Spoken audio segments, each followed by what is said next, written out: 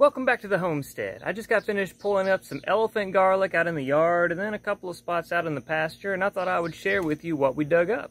Now this wasn't nice, neatly planted elephant garlic put out in rows in the garden or anything like that. These were patches of elephant garlic that have been growing in the same spot for years and years and years. So we have several different stages of development. And I also believe that having all of this garlic growing in just a couple of small spots leads to a lot of crowding. And so some of this doesn't really develop the way I think it should. So we're going to take a look at this and see what all is here. And I'll try to explain to you what what I understand about how elephant garlic grows. What are you doing there, kitty?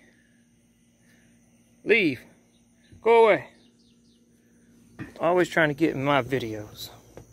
Alright, so for most of you, if you were going to go out and dig up elephant garlic, this is probably what you would expect to find. We have a big garlic bulb made up of big cloves, and that's pretty characteristic of elephant garlic.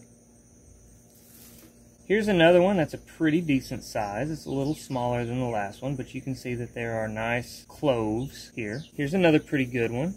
But then you also may find some that look like this.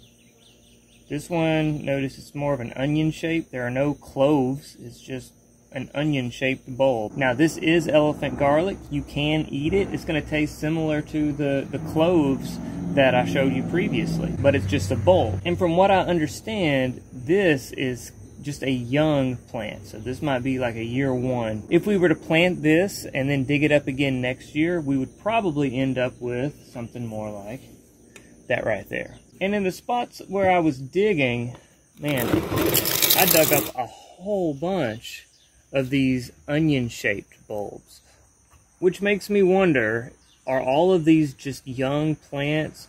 Or, since all of the plants were so crowded together, I'm wondering if these just didn't have the opportunity to develop the way that they should have. But either way, we can put these things in the ground and next year, hopefully next year, we'll end up with a nice large garlic bulb made up of big cloves. Something else I want to point out here. Notice that thing right there. Looks like a big knot on the side of this garlic bulb. This is a little bulbil, and it's kind of attached here by one of those paper layers, but we can knock that off. Notice that there's a little root that goes all the way down to where the little root hairs come off. This will become a garlic plant. Elephant garlic is extremely prolific. If you're not sure whether or not you want to grow elephant garlic, don't plant elephant garlic because it will grow and grow and multiply and reproduce and crawl. You'll have it everywhere. But these things are all over the place. They, they attach, like you saw, to the, uh, to the bulbs. And you even find them on the well-developed bulbs that have the large cloves. There's one right there. They'll fall off in the soil. They'll form a new plant, and before you know it, you've got one of these. And then, before you know it again, you've got one of those. Now, like I said, these things are edible, these onion-shaped bulbs, and we will eat a few of them, I think, but I generally try and put these back, and we're going to try and plant these um, later on closer to fall. As for the nice big bulbs that are made up of nice large cloves, this is what you want to eat, right? Oh, but wait just a second. What you probably want to do if you're trying to save your garlic and plant more for next year you probably want to save the largest cloves to put back into the ground. Because from what I understand, let's say we planted, there's a big clove right there. Let's say we plant this thing into the, in the ground. This single clove will kind of sort of clone itself and form more cloves that will produce a new bulb. And so this entire bulb next year will be made up of cloves that are that size. Whereas, let's say you took one of these smaller cloves. Well, now you're going to end up with a bulb that's made up of small cloves.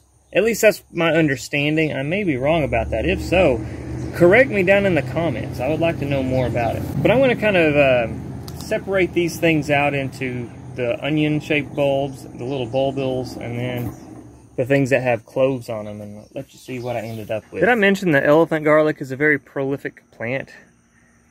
In addition to the flowers it makes with the seeds, here are all the bulbils that I've dug up. Each one of these is a future plant. Here are all of the little onion-shaped bulbs that I dug up.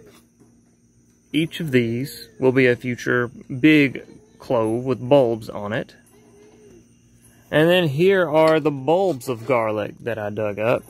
Each one of these is made up of several cloves. Each one of those cloves we could take and plant and it will make a new plant. So this right here, this one bulb that kind of fell apart on me. I could get four plants out of that. So elephant garlic, extremely prolific, extremely easy to grow. Like I said, those have just been growing out in little spots in the pasture and in our yard for years and years. And if you're choosy about the cloves that you plant out for the next generation, you can end up with a whole bunch of huge elephant garlic. It's pretty amazing stuff.